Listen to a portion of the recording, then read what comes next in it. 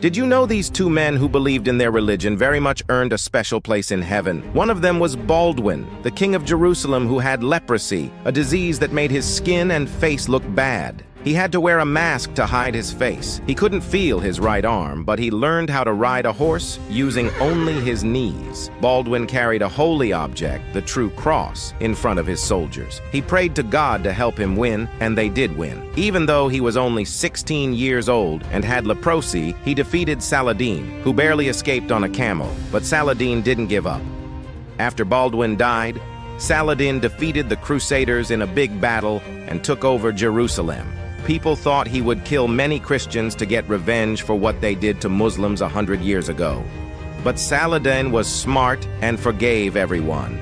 He told his soldiers not to kill because violence only leads to more violence.